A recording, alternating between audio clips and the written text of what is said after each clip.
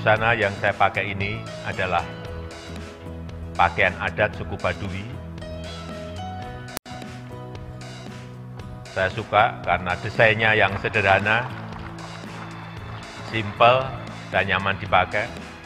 Saya juga ingin mengucapkan terima kasih pada Pak Jaro Saija, Ketua Adat Masyarakat Baduy, yang telah menyiapkan baju adat ini.